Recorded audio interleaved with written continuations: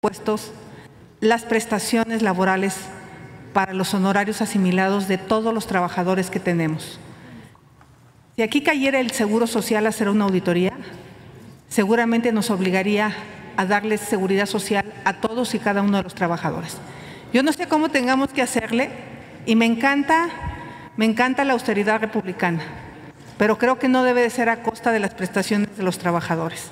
Entonces yo sí insistiría que busquemos la manera para que este Senado de la República al menos les otorgue el servicio de salud a los trabajadores, y son de todos los senadores, ¿eh?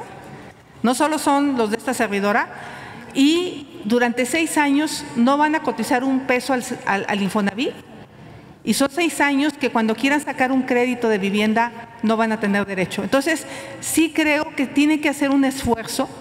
Si tenemos que ahorrar menos para poder pagar esas prestaciones es lo menos que podemos hacer, porque en este Senado se hacen leyes que obligamos a que todos los mexicanos las cumplan y nosotros las estamos incumpliendo. Entonces, yo sí pediría que se tome con seriedad la situación laboral de nuestros trabajadores que les pagamos por honorarios asimilados. Muchas gracias.